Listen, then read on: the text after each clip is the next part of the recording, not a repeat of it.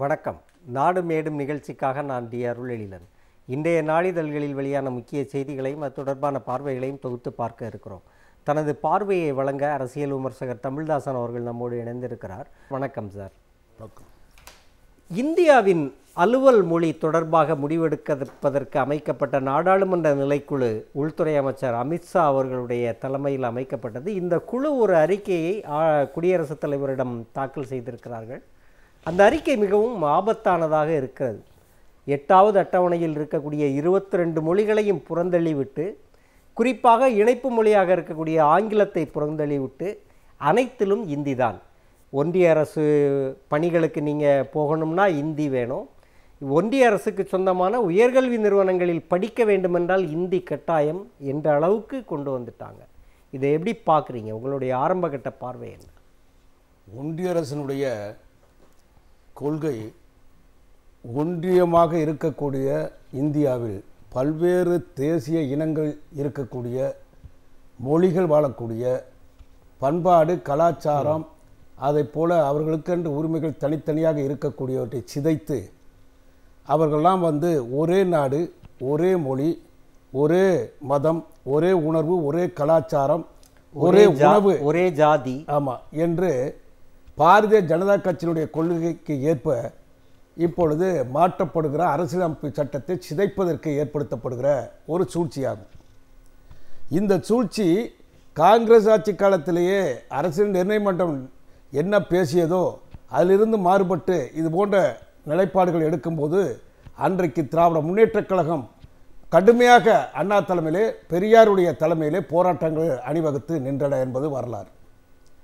ஆகவேதான் இந்தி செல்வி official language என்ற அரசியல் அமைப்பு சட்டத்தில் இருக்கும்போது அந்த மொழி வந்து திணிக்கப்படுமானால் மற்ற மொழிகள் வந்து அழிந்துவிடும் என்பது நமக்குள்ள மிகப்பெரிய அச்சம் மட்டுமல்ல உரிமை கூட. காரணம் இந்தியா வந்து ஒரு மொழி பேசக்கூடிய நாடு அல்ல. ஒரு இனம் வாழக்கூடிய நாடு அல்ல. ஆகவே ஒரு மொழியோ ஒரு இனமோ ஒரு மதமோ இருக்கக்கூடிய நாடல்ல என்பதனால் இந்தியா ஒரு துணைக்கண்டு தான். இதைத்தான் அண்ணா அவர்கள் மிக தெளிவாக சொன்னார். அப்படி சொல்லும்போது அவருடைய பேச்சிலே எழுத்திலே பெரியாருடைய போராட்டங்கள் அதற்கு முன்னோடிகளாக இருந்த முன்னோர்கள் போராடிய போராட்டங்கள் அணிவகுத்து வந்த கதையெல்லாம் நாம் உலக வரலாற்றையும் உள்ளூர் வரலாற்றையும் எடுத்து கூறி பாராளுமன்றத்திலே அதை சொல்லியிருக்கிறார். அந்த அடிப்படையில் தான் நேரு அவர்கள் ஒரு வாக்குறுதி கொடுத்தார். இவைக்கு சம்பத் அவர்கள் பாராளுமன்ற உறுப்பினர் திராவிட முன்னேற்ற கழகத்தினுடைய உறுப்பினர் அவர் எழுதிய கடிதத்தில் ஆயிரத்தி தொள்ளாயிரத்தி அறுபத்தி மூணு ஆட்சி மொழி சட்டம் என்ற பேரில் இவைகள்லாம் வந்து திணிக்கப்படும் போது ஏற்படுகிற நிகழ்வுகள்லாம் சுட்டிக்காட்டி சொல்லும்போது நேரு அவர்கள் இந்தி பேசாத மக்கள் விரும்பும் வரை ஆங்கிலம் துணை மொழியாக நீடிக்கும் என்று மிக தெளிவாகவே சொல்லியிருக்கிறார். இது பாராளுமன்றத்திலும் அறிவித்தார் வெளியிலும் பேசியிருக்கிறார். அந்த அடிப்படையிலே அது இருந்தாலும் கூட அவ்வப்போது அது திணிக்கப்படுகிற சூழ்நிலை அதனால் கிளந்து எழுகிற இளைஞர்கள் இன தமிழ் மக்கள் அதை போல வந்து மாணவர் பட்டாளம் இவைகள்லாம் உயிர் பலியாகி மிக அதிக அளவிலே அன்றைக்கு நடந்த நிகழ்வுகள் இங்கே சுட்டிக்காட்ட விரும்புகிறேன் ஆனால் நீங்கள் பார்த்தோம்னா ஒரு இந்தி வெறியராக மாறி இன்றைக்கு இந்த அமித்ஷா மிக பெரிய அளவிலே பார்த்து வேண்டால் பாரதிய ஜனதா கட்சியினுடைய ஆட்சியிலே நடத்தப்படுகிற சூழ்ச்சிகள் செப்டம்பர் பதினாலு வந்துவிட்டால் போதும் இந்தியை திணிக்க வேண்டும் திணிக்க வேண்டும். இந்தியை பரப்ப வேண்டும் இந்தியை வளர்க்க வேண்டும் நீங்கள் எல்லாம் நடவடிக்கை எடுக்க வேண்டும் என்றெல்லாம் சொல்லி சொல்லி அவர் மொழி இந்தி மொழினால் என்று சொல்லக்கூடிய சொல்லக்கூடியதாக இருந்தாலும் சரி இந்தி திவஸ் என்று சொல்லக்கூடிய அந்த நிகழ்வாக இருந்தாலும் சரி செப்டம்பர் மாதத்தில் அவர் அடிக்கடி இது போன்று பேசி பாராளுமன்றத்திலே பார்த்தீர்கள் என்று சொன்னால் அமைச்சர் பெருமக்கள் தருகிற உறுதிமொழிகள் பேசுகிற பேச்சுகள் அனைத்தும் இந்தியிலே இருக்க வேண்டும் என்று சொல்லி அவர்கள். கட்டாயப்படுத்துகிறார்கள் இதில் என்னன்னா சார் நீங்கள் தமிழ்நாட்டை பொறுத்த வரைக்கும் உங்களோட பாரம்பரியம் திராவிட பாரம்பரியம் இது எல்லாமே தமிழை பாதுகாத்திருக்கீங்க. இங்கே தமிழும் ஆங்கிலமும் தெரிந்தவர்கள் அதிகம். ஆனால் இந்தி பேசும் மக்களுக்கும் சரி இந்தி பேசும் தலைவர்களுக்கும் சரி ஆங்கிலம் மேலே ஒரு அருவருப்பு இருக்குது ஏன்னா ஆங்கிலம் நவீன மொழி அது பிற்போக்குத்தனமான மொழி அல்ல. இந்தி பிற்போக்கான ஒரு தன்மைகளை கொண்ட மொழி. இந்த வெறுப்பு இயல்பாகவே இருக்குதா அவங்கள்ட்ட? அதாவது- மேலையும் பிற மொழிகள் மேலையும். பிற மொழிகள் மீது நாம் வந்து அண்ணா அவர்கள் மிக தெளிவாகவே சொல்லியிருக்கிறார். காந்தியடிகள் சொல்லும்போது அதாவது பிரிட்டிஷ் பீப்புள் மீது ஏன் பிரிட்டிஷ் மக்கள் மீது பிரிட்டிஷ்காரர் மேலே உங்களுக்கு வந்து மிகப்பெரிய எதிர்ப்பு இருக்கிறது வெறுப்பு இருக்கிறது என்று கேட்கும்போது காந்தியடிகள் சொன்னார். We are against only in அதாவது imperialism of British but we are not against in British people என்று மிக தெளிவாக சொல்லியிருக்கிறார். அந்த மக்கள் மீது எங்களுக்கு இல்லை. பிரிட்டிஷ்காரனுடைய ஆதிக்கம் எங்களுக்கு எங்களுக்கு எதிரானது. அதே போல தான் அண்ணா சொன்னார். We are against only Hindi imperialism but not Hindi people Hindi speaking people என்று மிக தெளிவாக சொல்லியிருக்கிறார். ஆகவே எந்த மொழியும் கற்றுக்கொள்வது அவரவர் விருப்பம். அதில் வந்து ஒன்றும் வந்து தவறல்ல. அதே நேரத்தில் ஒரு மொழிக்கு எதிராக மற்றொரு மொழி திணிக்கப்படும் போது இது கேள்விக்குறியாகுது. இந்தியாவில் பல மொழிகள் பேசப்படுகிறது. பல மாநிலங்கள் இருக்கின்றன. அசாம்காரனுக்கு அசாம் மொழி காஷ்மீர்காரனுக்கு காஷ்மீர் மொழி பஞ்சாபில் இருக்கக்கூடிய பஞ்சாபி குஜராத்தி மொழி இருக்கக்கூடிய பக்கம் இருக்கக்கூடிய குஜராத்து அதை போல வந்து வங்க மொழி இதை போல இங்கே கீழே பார்த்தீர்கள் என்று சொன்னால் ஒடியா ஒரிசா பேசப்படுகிறது. கன்னடம் மலையாளம் அதே போல தமிழ் என்று சொல்லக்கூடிய பல்வேறு மொழிகள் இனங்கள் இருக்கின்றன. இந்தி பேசக்கூடிய மொழி எது? எங்கே? அது மத்திய பிரதேசத்தில் இருக்கக்கூடிய மொழி. அங்கே உத்தரகாண்ட் உத்தரப்பிரதேசம் அதே போல அங்கே அங்க பக்கத்தில் இருக்கக்கூடிய ராஜஸ்தான் இந்த மாநிலம் ஒரு குறிப்பிட்ட அளவில் பேசக்கூடிய அந்த மொழி. அந்த மொழியை மற்ற மொழிக்கு எதிராக திணிக்கலாமா? இந்திய அரசியலமைப்பு சட்டத்தில் எட்டாவது அட்டவணையில் இருபத்தி ரெண்டு மொழிகள் இருக்கின்றன. இன்னும் பேசப்பட இன்னும் சேர்க்க வேண்டும் என்று மொழி போராட்டம் நடத்தி வருகிறார்கள். எங்கள் மொழியை சேருங்கள். எங்கள் மொழிக்கு ஆபத்து வரக்கூடாது. இந்திய நாட்டில் நாங்கள் வசிக்கிறோம் என்று இன்னும் பல்வேறு தேசியங்கள் சொல்லி வருகிறார்கள். இந்த நிலையிலே இப்பொழுது இருபத்தி ரெண்டு மொழிகள் அட்டவணையில் எட்டாவது அட்டவணையில் இருக்கக்கூடிய மொழிகளை நீங்கள் முதலே தமிழ் உள்ளிட்ட மொழிகளை ஆட்சி மொழி ஆக்கங்கள் என்றுதான் அப்பொழுது பெரியாருடைய அண்ணாவுடைய போராட்ட களங்கள் இருந்த கலைஞருடைய போராட்ட களத்தில் இருந்த அந்த உணர்வு திருச்சி திருப்புமுனை மாநாட்டில் எடுத்து வைத்த முரசல்மாரன் தீர்மானம் அதுதான். ஆகவேதான் நாம் கேட்பது இந்த நேரத்தில் இப்படிப்பட்ட அடிக்கடி இது வேண்டும் என்றே ஒன்றிய அரசு அதுவும் அமித்ஷா ஒரு இந்தி வெறியன் என்பதை சுட்டிக்காட்டுகிற விதத்தில் தான் அடிக்கடி இது போன்ற திமிர்த்தனமான வேண்டுமென்றே திட்டமிட்டு செய்யப்படுகிறது. அதாவது அலுவல் மொழி தொடர்பான நாடாளுமன்ற அதாவது குழு இருக்கு. அந்த குழு அமித்ஷா தலைமையில் இருக்கு. அமித்ஷா தலைமையில் இருக்கக்கூடிய அந்த குழு பதினோராவது தொகுதியை ஆராய்ந்து அந்த தொகுதியை அந்த வந்து ஏற்பாடு செய்து அமித்ஷா வந்து திரௌபதி முர்மு என்ற நமது குடியரசுத் தலைவரிடம் ஒப்படைக்கிறார். அதை அளிக்கிறார் அப்படி அளித்ததில் என்னென்ன இருக்கு? I I I IIT IIM AIIMS என்பது போன்ற ஒன்றிய அரசினுடைய பல்கலைக்கழகங்களில் அது போல அதனுடைய மற்ற கல்வி நிலையங்களில் இவைகள் அனைத்திலும் கட்டாயமாக இந்தி மொழியை பயிற்று மொழியாக வைக்க வேண்டும். சரி. இது இந்த மொழி அதாவது இந்தி பேசும் மாநிலங்கள் ஏ பிரிவு மாநிலங்களுக்கு இந்தி பேசுறாங்க. உத்தரப்பிரதேசம் உத்தரகாண்ட் உத்தராஞ்சல் மத்திய பிரதேசம் அது போல வந்து இருக்கக்கூடிய ராஜஸ்தான் இந்த போன்ற மாநிலங்கள் பேசுறாங்க. ஒரு சில மாநிலங்களில் இருக்கும். மராட்டியத்தில் இருக்கலாம். ஆனால் அது எல்லாமே அவன் மராட்டி மொழி அவனுக்கு. இந்த மொழி இந்தி மொழியை ஏ பிரிவு என்று பிரித்து அந்த மாநில நீங்கள் அதாவது முழுமையாகவே எழுதவோ பேசவோ நீங்கள் இந்தியத்தான் பயன்படுத்தணும். ஆங்கிலத்துக்கு இடமில்லை. அந்நிய மொழி. வடகிழக்கு மாகாணத்தில் இருக்கக்கூடிய மக்களுக்கும் நீங்கள் இதை பூத்தோன்னு சொல்லிட்டு ஒரு ஏற்பாடு பண்ணி இதே அமித்ஷா வெறித்தனமாக செயல்படுகிறார். சரி ஆங்கிலம் அந்நிய மொழி என்றால் இந்திய அந்நிய மொழி தானே? ஆங்கிலம் பேசக்கூடியவர்கள் எங்கே இருக்கிறார்கள்? தாய்மொழியாக கொண்டவர்கள் மேகலாயாவில் இருக்கிறான் திரிபுராவில் இருக்கிறார். அதை போல பல்வேறு மாநிலங்கள் அங்கு இருக்கக்கூடிய வடகிழக்கு மாநிலங்கள் இருக்கிறார் தாய்மொழியை கொண்டவர்கள். ஆனால் இந்த இந்தி வந்து தேவையா? இந்தி யாருடைய மொழி? நமது மொழியா? அதுவும் ஒரு இந்தியாவில் உள்ள ஒரு மொழி ஒன்றியத்தில் உள்ள ஒரு மொழி. இந்த மொழி திணிப்பு கூடலாமா? கூடுமா? இதைத்தான் கேட்கும்போது ஏன் இந்தியை நீங்கள் ஏற்கக்கூடாது? அதிகமாக பேசுகிறார்கள். அதிகமாக பேசுகிறேன்னா இந்த குறிப்பிட்ட மாநிலத்தில் பேசக்கூடியவர்கள். அப்படி என்றால் அண்ணா கேட்ட கேள்வி இந்த நாட்டினுடைய தேசிய பறவை எதை வைத்திருக்கிறீர்கள்? காக்கைகள் என்று சொல்லக்கூடிய அந்த பறவை அதிகமாக இருக்கின்றன. அதை வைத்தீர்களா? தேசிய பறவை எதை வைத்திருக்கிறீர்கள்? மயிலைத்தான் வைத்திருக்கிறீர்கள். அப்படி சொல்லிவிட்டு சொன்னார் மயிலை தேசிய பறவையாக அறிவித்த நீங்கள் நான் கேட்கிறேன் ஒரு உணர்வு மொழி உணர்வு இன உணர்வு என்றால் அவன் இல்லாதவன் மரக்கட்டைக்கு சமம் கேட்கிறார் அண்ணா. இவர் இல்லாதவர் அவன் மனிதனே இல்லை மயில் ஆடுவது எப்படி இயற்கையோ? குயில் கூவுவது எப்படி இயற்கையோ? மல்லிகை மணப்பது எப்படி இயற்கையோ? அதை போல ஒரு மனிதனுக்கு ஒரு இனத்தில் உள்ள ஒருவருக்கு இந்த இன உணர்வு மொழி உணர்வு தேவை என்று அண்ணா சொல்லியிருக்கிறார். இதைத்தான் பல்வேறு உலக வரலாற்றில் இருக்கக்கூடிய மொழி போராட்டங்கள் வரலாறு நமக்கு எடுத்து காட்டுகின்றன கிளிக்கு வந்து பச்சை வண்ணம் கிளி பச்சை வண்ணத்தை பூசுவதற்கு வர்ணம் பூசாது மிக தெளிவாக அண்ணா சொல்கிறார். ஆகவேதான் அன்றைக்கு நடைபெற்ற போராட்டங்கள் கலைஞர் எழுதினார். கலைஞர் எழுதி அன்றைக்கு அறுபத்தஞ்சு அதாவது ஆயிரத்தி தொள்ளாயிரத்தி முப்பத்தெட்டில் திணிக்கப்பட்ட இந்தி பெரியார் போராடினார் பெண்ணார் சிறைக்கு கொண்டு போகப்பட்டார். அண்ணா போராடினார். தியாலஜிகள் இந்து தியாலஜிகள் பள்ளி அங்கே முன்ன- முன்னே போராட்டம் ராஜாஜி வீட்டுக்கு முன்னாலே போராட்டம் கைது செய்யப்பட்டு சிறையில் வைக்கப்பட்டார்கள். பெரியார் ஒவ்வொரு சிறைக்கும் மாற்றப்பட்டார். அதற்கு பிறகு நாற்பத்தி நாலு நாற்பத்தி எட்டு இது போராட்டம். கலைஞர் அன்றைக்கு மாணவ பருவத்தில் இருக்கும்போது ஓடி வந்த இந்தி பெண்ணே நீ தேடி வந்த நாடு இது இல்லவே என்று சொல்லி அல்லவே என்று சொல்லி மாணவர் பருவத்தில் போராட்டம் திருவாரூர் வீதிகளிலே தமிழ்நாடு முழுவதும் மாணவர் பட்டாளம் போராட்டம் களத்தில் இறங்கியது. இது தொடர் போராட்டம் தான் இருக்கு. ஆகவேதான் அன்றைக்கு ராஜாஜி காலத்தில் திணிக்கப்பட்ட இந்தி ஒரு காலத்தில் ராஜாஜி சொன்னார் எவர் இந்தி? என்று முதலமைச்சராக இருக்கும்போது சொன்னார். அதே ராஜாஜி ஆயிரத்தி தொள்ளாயிரத்தி அறுபத்தஞ்சுக்கு பிறகு மாறி போனார்.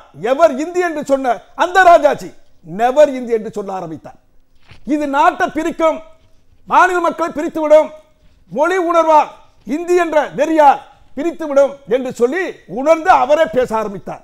திராவிட முன்னேற்ற கழகத்தின் கூட்டணியில் ஆயிரத்தி தொள்ளாயிரத்தி அறுபத்தி ஏழு இருக்க ஆரம்பித்தார். நான் எதற்காக சொல்கிறேன் என்று சொன்னால் இந்தி ஒரு மொழி. அந்த மொழி திணிப்பால் என்ன ஆகும்? நாடு சிதவியாகும் பக்கத்தில் இருக்கக்கூடிய பாகிஸ்தான் எப்படி பிரிந்தது? எங்களுக்கு உருது இந்தி மொழி தேவையில்லை என்றுதான் இந்தியாவில் இருந்து பிரித்து கொண்டு பாகிஸ்தான் போனான்.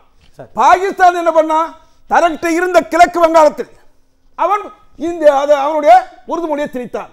வங்க மொழி எங்கள் தாய்மொழி என்று சொல்லி முஜிபுர் ரஹ்மான் போராட்டம் நடத்தினார். அந்த நாடு பிரிந்தது. ரஷ்யாவில் இருந்து உஸ்பெகிஸ்தான் பிரிந்து போனது இப்போ போராட்டம். அது போல பல்வேறு நாடுகள் கஜகஸ்தான் போன்ற நாடுகள் பிரிந்து போயின. பல்வேறு நாடுகள் மொழி திணிப்பால் பிரிந்து போன வரலாறு இருக்கிறது என்பதை நான் சுட்டிக்காட்டுகிறேன். அஹ், பதினைந்தாம் தேதி இந்த இந்தி திணிப்புக்கு எதிரான போராட்டத்தை அறிவித்திருக்கிறார் இளைஞரணி செயலாளர் உதயநிதி ஸ்டாலின் அவர்கள். ரொம்ப முக்கியமான ஒரு அறிவிப்பு. எனக்கு இதில் ஒரே ஒரு கேள்வி தான் இருக்குது அறுபதுகளில் பெரியார் அண்ணா கலைஞர் போன்ற மூன்று முப்பெரும் தலைவர்கள் இணைந்து இந்தியை எதிர்த்தாங்க. ஒன்றிய அரசா அல்லது ஒன்றிய டெல்லி அதிகாரமிடமா நேரு இந்திரா காந்தி போன்றவர்கள் ராஜீவ் காந்தி போன்றவர்கள் இருந்தாங்க. அதான் தொடர்ச்சியாக நான் சொல்கிறேன் ஒரு நீண்டகால நோக்கில். இவர்கள் எல்லாமே ஜனநாயகத்தை மதிக்கக்கூடிய ஒரு எதிர்ப்பு குரலை ஜன எதிர்ப்பு குரலை மதிக்கக்கூடிய தலைவர்களாக இருந்தாங்க. அதனால் அன்றைக்கு அந்த போராட்டத்தில் வந்து வெற்றி பெற முடிஞ்சது. இன்றைக்கும் வந்து போராட்டத்தில் வந்து வெற்றி பெற முடியும். ஆனால் ஒன்றிய இன்னைக்கு இருக்கக்கூடிய மோடி அரசுங்கிறது வந்து ஒரு வலதுசாரி மூர்க்கத்தனம் கொண்ட ஒரு அரசாக இருக்குது அதை வந்து முதல்வரே பல இடங்களில் சுட்டி காட்டியிருக்காங்க. இந்த போராட்டம் என்ன விதமான செய்திகளை வந்து இந்தியாவுக்கும் தமிழ்நாட்டுக்கும் சொல்லும்? அதாவது இப்பொழுது நமது திராவிட முன்னேற்ற கழகத்தினுடைய இளைஞரணி செயலாளர் உதயநிதி ஸ்டாலின் சட்டமன்ற உறுப்பினர். அதை போல மாணவரணி சார்பிலே எழிலரசன் இவர்கள் அறிவித்த அறிவிப்பின்படி மாவட்ட நிர்வாகத்தில் இருக்கக்கூடிய அங்கங்கே தலைமையிடத்திலே வந்து இந்த ஆர்ப்பாட்டம் கண்டன ஆர்ப்பாட்டம் பெருமளவில் நடக்கும். நடக்கும். இந்தி எதிர்த்து. இந்தி திணிப்பை எதிர்த்து. இந்தி எதிர்த்துன்னு கூட சொல்லுவதை காட்டில இந்தி திணிப்பை எதிர்த்து. இம்போசிஷன் ஆஃப் ஹிந்தி நாம் இந்த இடத்துல சிந்திக்க வேண்டியது என்னென்னா நான் முப்பத்தெட்டில் ராஜாதி திணிக்கும் போதும் சரி அதுக்கப்புறம் தொடர்ந்து நாற்பத்தெட்டு நாற்பத்தி நாலு நாற்பத்தெட்டு அதுக்கப்புறம் அறுபத்தி அறுபத்தி அஞ்சு இந்த போராட்டங்கள் நமக்கு வழிவகுக்கின்றன நீங்கள் சொல்கிறது கலைஞர் அவர்களே அதனால் தான் பாதுகாப்பு சட்டத்தில் பிடித்து அவரை கொண்டு பாளையங்கோட்டை சிறையில் போட்டார். அவர் எழுதினார் மாணவர்களை தூண்டிவிட்டார் என்றெல்லாம் சொல்லி அன்றைக்கு போராட்ட களத்திலே அவர் உள்ளே கொண்டே வைத்தார்கள். அண்ணா பார்த்து விட்டு வந்து பாளையங்கோட்டையில் பேசினார். பேசும்போது நான் போய் பார்த்து பார்க்க போனேன். கருணாநிதி அவர்கள் என்னை பார்த்ததும் அண்ணா எப்படி இருக்கிறீர்கள்? உங்கள் வீட்டில் எப்படி இருக்கிறார்கள்? என் வீட்டில் எப்படி இருக்கிறார்கள்? என்றெல்லாம் கேட்கவில்லை. குடியாத்தம் தேர்தல் எப்படி இருக்கிறது? இடைத்தேர்தல் ஜெயித்து விடுவோமா? வெற்றி பெற்று விடுவோமா? தான் கேட்டார். சொல்லிவிட்டு அண்ணா சொன்னார் இந்த மொழிக்காக போராடுவது எப்படி தவறு என்று அந்த காங்கிரஸ் அரசை எதிர்த்து பேசினார். எப்படி இந்துக்களுக்கு வந்து காசி புனித பூமியோ ஜெருசலம் எப்படி வந்து கிறிஸ்தவர்களுக்கு புனித பூமியோ அதை போல முஸ்லிம்களுக்கு மெக்கா எப்படி புனித பூமியோ அதை போல என் தம்பி அடைபட்டு கிடக்கும். இந்த பாளையங்கோட்டை சிறைதான் எனக்கு யாத்திரை தலம். எனக்கு வந்து புண்ணியதலம் என்றார். அப்படி என்றால் என்ன அர்த்தம்? புண்ணியதலம் யாத்திரை தலம் என்றால் மொழிக்கு சிதைவு வரும்போது எதிர்ப்பு வரும்போது அதற்கென்று ஒளி அழிவு என்ற ஒரு சக்தி ஏற்படும் போது அதை பார்த்து கொண்டு இருக்க முடியாது. அதுதான் அண்ணா மிக தெளிவாக சொன்னார். ஒரு இனத்தை அழிக்க வேண்டும் என்றால் ஒரு மொழியை அழித்து விடு என்று ஒரு அறிஞன் சொல்லியிருக்கிறார். ஆக அந்த மொழியை அழிப்பதற்காக திட்டமிட்டு ஒன்றிய அரசு செய்து வருகிறது. இதனால் தான் அந்த போராட்டம். அண்ணா வந்தார். அண்ணா ஆட்சிக்கு அதே போல சிறைகள்லாம் கண்டு பெரியார் அண்ணா போன்றவர்கள்லாம் அன்றைக்கு பல்வேறு தலைவர்கள் அன்றைக்கு மொழி அதாவது பல்வேறு தலைவர்கள்லாம் சான்றவர்கள் ஆண்டவர்கள் தமிழ் தமிழ் மொழியை கையாண்டவர்கள்லாம் வந்தாங்க. ஆனால் மாணவர் பட்டாளம் அன்றைக்கு கிளர்ந்தெழுந்தது. அரங்கநாதன் செத்து போனான் சின்னசாமி செத்து போனான் அதை போல மொத்து விஷம் குடித்து செத்தார்கள் தீ வைத்து கொளுத்தி செத்தார்கள். இப்படிலாம் இருக்க தாளமுத்து நடராசன். நட தாளமுத்து என்பவரும் நடராஜன் அவர்களும் பெரியார் காலத்திலேயே அன்றைக்கு உள்ளே சிறையிலிருந்து செத்து போனார்கள். அவர் பேரிலே. இன்றைக்கு மாளிகை அந்த கட்டடத்து வைத்திருக்கணும் வைத்திருங்க. இப்படியெல்லாம் நடந்த நிகழ்வுகள் இருக்கின்றன. இதற்கு பிறகு நீங்கள் ஒன்றிய அரசு மொராஜ் தேசாய் காலத்தில் இந்திய திணித்தார்கள். தபால் அலுவலகத்தில் அங்கே மதுரையில் அழித்தோம் திமுக அழித்த போது உடனே செத்த குதிரை இந்தி என்று சொன்னார். கலைஞர் செத்த குதிரை அல்ல குழி பறித்துக் கொண்டு படுத்திருக்கிறது. எந்த நேரத்திலும் எழுந்து வேகமாக ஓடும் என்று சொன்னார். பிறகு போராட்டம் எம்ஜிஆர் தான் ஆட்சியில் இருந்தார் அது பார்த்து கொண்டிருந்தார் முதலமைச்சராக இருந்தார். அதிமுக முதலமைச்சராக இருக்கும்போது இவர் கைது இவரை கைது செய்து சிறையில் போட்டார்கள். சிறையில் இருந்த கலைஞர் பொங்கலுக்கு கூட வெளியே வரவில்லை.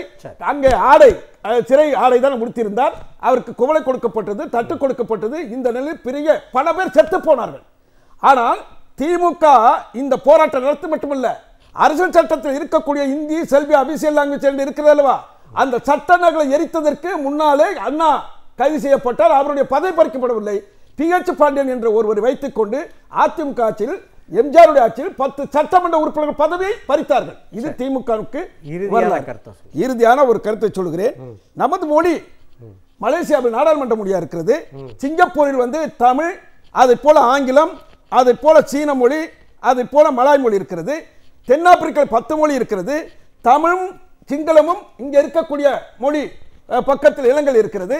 பிரெஞ்சு பிரெஞ்சு மொழி தமிழ் மொழி ஆங்கிலம் தெலுங்கு அதை போல மலையாளம் பக்கத்தில் பாண்டிச்சேரியில் இருக்கிறது. சிக்கிமில் பத்து மொழி ஆட்சி செய்கிறது. இன்னும் சொல்லணும் சுவிட்சர்லாந்தில் பார்த்தா சுவிஸ் மொழி ஜெர்மன் மொழி பிரெஞ்சு மொழி ஆங்கிலம் இருக்கின்றன. இப்படிலாம் பல மொழிகள் பேசக்கூடிய நாடு இருக்கிறது. ஏன் ஏன் இந்த நாட்டில் நீ செய்ய மாட்டே மறுக்கிற? சரி ஒரு மொழி பேசுறா நாடு சரியா இருக்கா? ஒரு மொழி பேச முடியுமா? அப்படி என்றால் ஒரு மொழி பேசக்கூடிய மொழி என்று சொன்னால் எதற்காக பாகிஸ்தானிலிருந்து பிரிந்து போனது? எதற்காக பல நாடுகள் தென் வியட்நாம் வட வியட்நாம் எதற்காக கொரிய மொழி பேசக்கூடிய தென் கொரியா வட கொரியா ஆனது சரி. ஆகவே நாம் கேட்பது ஜெர்மனியிலே மொழி திணிப்பு ஏற்பட்ட போது மார்டின் லூதர் கிங் போராடினார். நிச்சயமா. எனக்கு எனக்கு ஒரே இதுதான் பைபிள் ஒரே ஒரு காரணம் சொல்றேன்.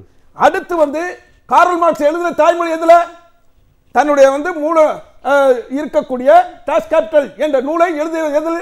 தாய்மொழி ஜெர்மனியில் எழுதினா இங்கே இருக்கக்கூடிய காந்தி எந்த மொழியிலே? நமது ஃபாதர் ஆஃப் நேஷன் அழைக்கக்கூடிய தந்தை அவர் நாட்டினுடைய தேசப்பிதா என்று அழைக்கப்பட்டவர் அவர் எந்த மொழியில் தா- வரலாறு எழுதினார்? தாய்மொழி. குஜராத்தில் எழுதினார்.